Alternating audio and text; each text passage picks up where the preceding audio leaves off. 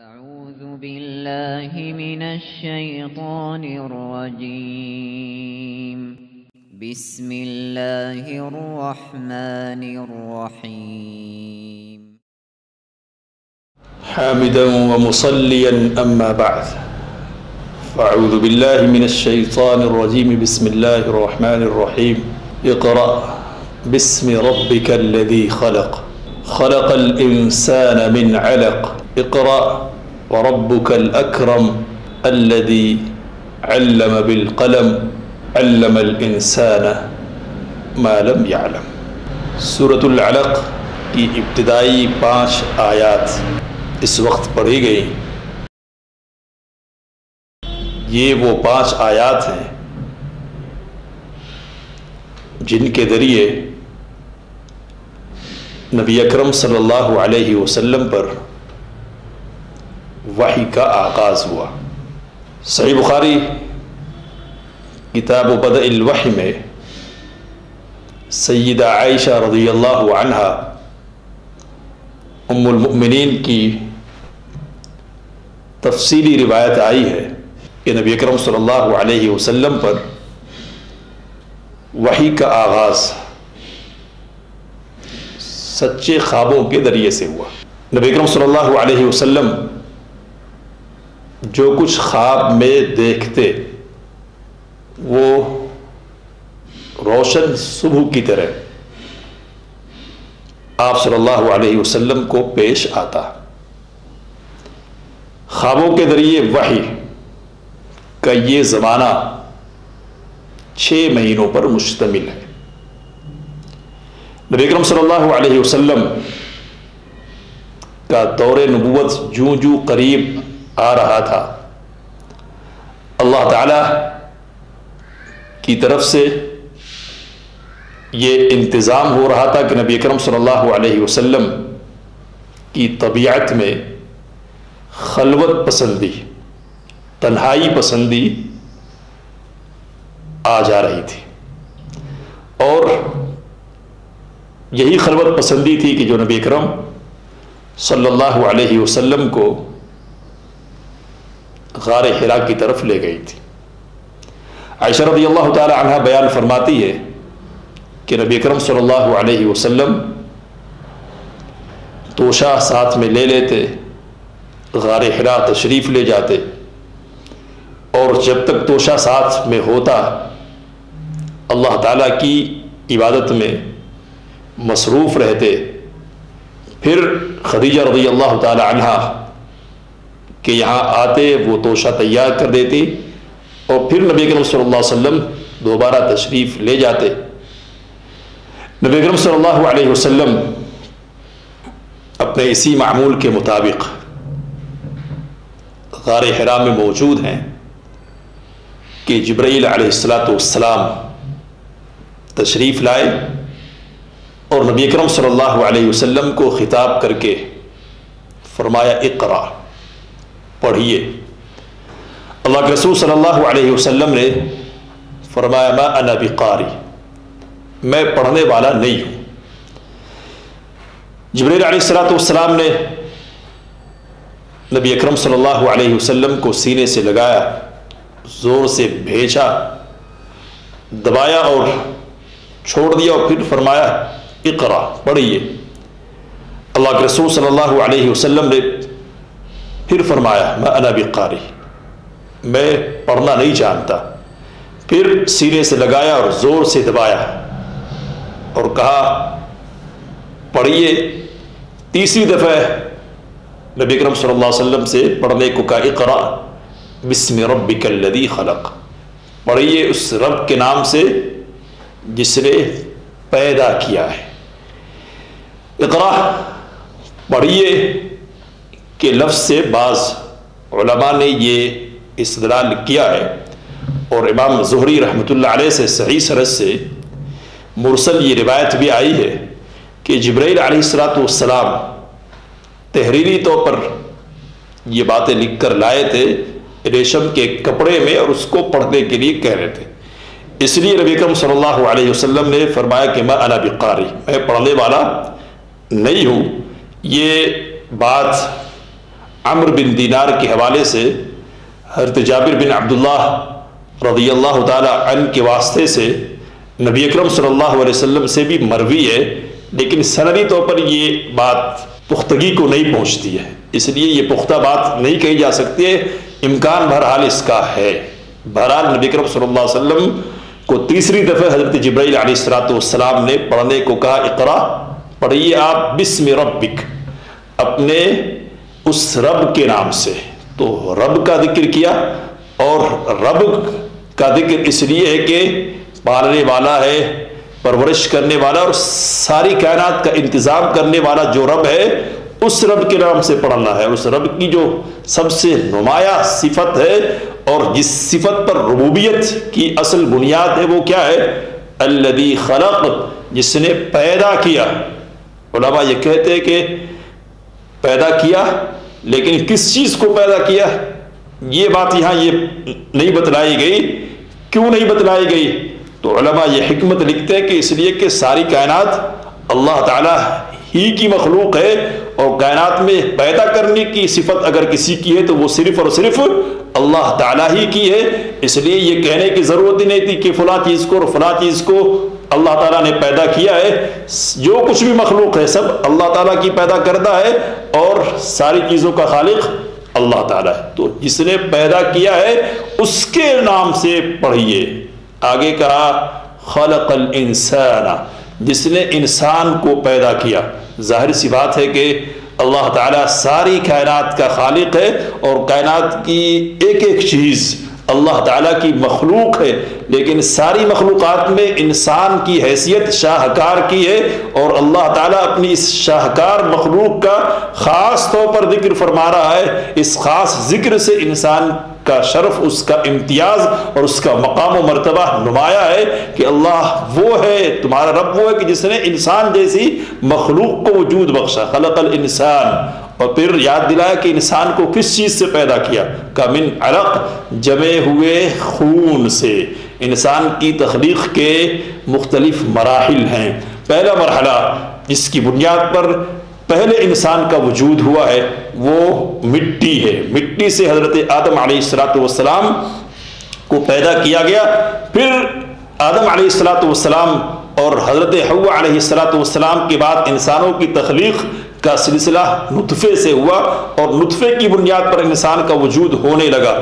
نطفہ سب سے پہلی شکل ہوتی ہے کہ جس سے انسان کے وجود کا آغاز ہوتا ہے۔ نطفے کے بعد جو شکل ہوتی ہے وہ علقہ کی ہے، جمے ہوئے خون کی ہے۔ علیقہ یا علق مطلب چمٹنا ہوتا ہے۔ یہ جمع ہوا خون رحم رحم مادر کی دیوار سے چمٹ جاتا ہے اور بعض علماء نے لکھا کہ علقہ جوک کو بھی کہتے ہیں تو یہ جو جمع ہوا خون ہے خون کی پھٹکی ہے، اس کی شکل جوک کی ہوتی ہے۔ اللہ نے کہا کہ علقہ سے پیدا کیا۔ علقہ یہ بیچ کا مرحلہ ہے۔ اس کے بعد دوسرے مراحل بھی تخلیق کے ہیں۔ اللہ نے چونکہ یہ خاص مرحلہ ہے اور بیچ کا مرحلہ ہے، اس لیے خاص طور پر اس کا ذکر کیا۔ اور اس مرحلے میں انسان کی جو حیثیت ہے، وہ کیا ہے؟ تو نہ اس میں جان ہوتی ہے، نہ عقل ہوتی ہے، نہ شعور ہوتا ہے۔ کچھ بھی نہیں ہوتا۔ اللہ تعالیٰ ہے وہ کہ جو اس بے جان چیز میں جان ڈال دیتا ہے اور یہی جان آگے بڑھتی ہے، ترقی کرتی ہے، تو عقل اور شعور کی دولت سے مالا مال ہو جاتی ہے۔ یہ ساری چیزیں کون عطا کرتا ہے؟ اللہ تعالیٰ عطا کرتا ہے۔ اقرا اقرا بسم ربک الذی خلق خلق الانسان من علق۔ اللہ تعالیٰ نے انسان کو جمے ہوئے خون سے پیدا کیا۔ آگے کا اقرا و رب الاکرم۔ اے نبی اکرم صلی اللہ علیہ وسلم، آپ پڑھیے اور آپ کا رب بڑا کرم کرنے والا ہے۔ علماء یہ کہتے کہ دوبارہ پڑھنے کے بعد نبی اکرم صلی اللہ علیہ وسلم کی تسلی کے لیے کہ آپ صلی اللہ علیہ وسلم ذرا پریشان ہو گئے تھے۔ اللہ تعالیٰ نے پھر کہا پڑھیے اور اس بات کو زہر سے نکال دیجیے کہ آپ کو پڑھنا نہیں آتا ہے اور آپ صلی اللہ علیہ وسلم نے ابھی تک پڑھا نہیں ہے۔ اگر نہیں پڑھا ہے تب بھی سوچنے کی ضرورت نہیں ہے اور آئندہ کے لیے آپ کو پڑھنا ہے، اس کے لیے بھی سوچنے کی ضرورت نہیں ہے۔ کیوں؟ اس لیے کہ اللہ آپ کو پڑھائے گا اور اللہ کون ہے؟ تو اللہ کی یہ صفت ہے کہ وہ پیدا کرنے والا ہے اور پیدا کرنے کے ساتھ ساتھ کیا ہے؟ تو خلق الانسان من علق۔ اقرأ وربك الاکرم الذي علم بالقلم، جس نے انسان کو قلم کے ذریعے سے سکھلایا۔ قلم تو تعلیم کے ذرائع میں سے ایک ذریعہ ہے۔ قلم بہت بڑا ذریعہ ہے۔ نبی اکرم صلی اللہ علیہ وسلم کی حدیث سے یہ بات معلوم ہوتی ہے۔ سنن ترمذی کی روایت ہے کہ اللہ کے رسول صلی اللہ علیہ وسلم نے ارشاد فرمایا، ان اول ما خلق اللہ القلم اللہ تعالیٰ نے سب سے پہلے اپنی مخلوقات میں قلم کو پیدا کیا اور اس سے فرمایا، اکتب، لکھو، فجرا بما ہوا کائن الی الابد، تو قیامت تک اور ہمیشہ ہمیشہ تک کے لیے جو کچھ ہونے والا تھا، سب کچھ قلم نے لکھ دیا۔ تو یہ قلم علم کا بڑا ذریعہ اور ایسا ذریعہ ہے کہ جس کو اللہ تعالیٰ نے سب سے پہلے وجود بخشا ہے۔ زبان کے ذریعے بھی علم کے حصول کی بات ہوتی ہے۔ علم دماغ میں بھی محفوظ رہتا ہے۔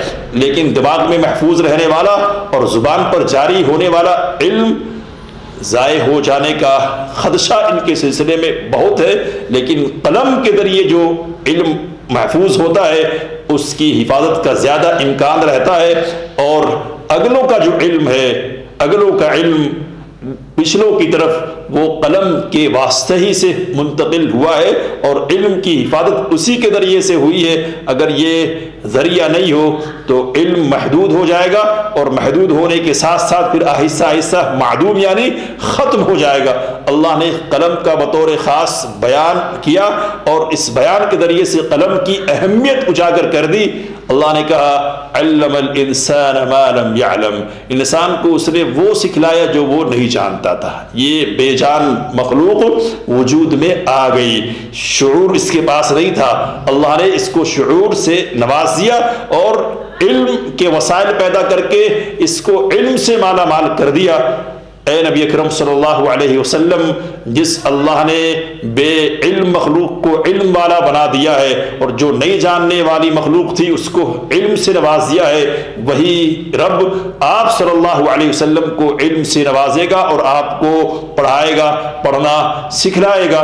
نبی اکرم صلی اللہ علیہ وسلم پر اترنے والی یہ پانچ آیات ہے جن کے ذریعے سے نبی اکرم صلی اللہ علیہ وسلم کی نبوت کا آغاز ہوتا ہے اور آپ صلی اللہ علیہ وسلم ان آیات کی بنیاد پر نبی کے معزز، نبی کے معزز منصب پر فائز ہوتے ہیں ان پانچ آیات میں۔ نمایاں طور پر جس بات کی تلقین کی گئی ہے، وہ کیا ہے؟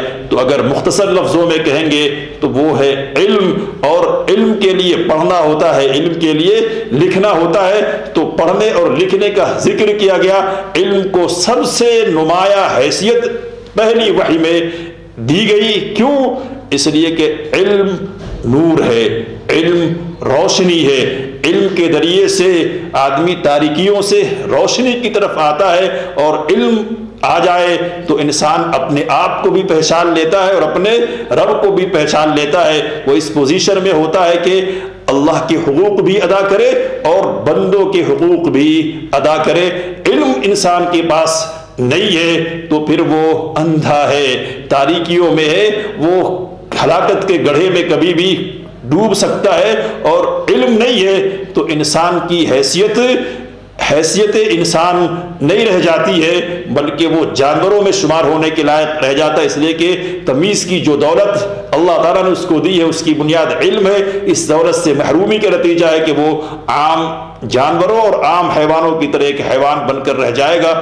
اس لیے عبداللہ بن مبارک رحمۃ اللہ علیہ نے کہا ہے کہ لول العلم، اگر علم نہیں ہوتا تو انسان بہائم ہو جاتے، جانور ہو جاتے اور امام حسن بصری رحمۃ اللہ علیہ سے پوچھا گیا کہ الناس لوگ کون ہیں؟ انسان کون ہے؟ تو انہوں نے کہا، العلماء۔ وہ لوگ ہیں جو علم رکھنے والے۔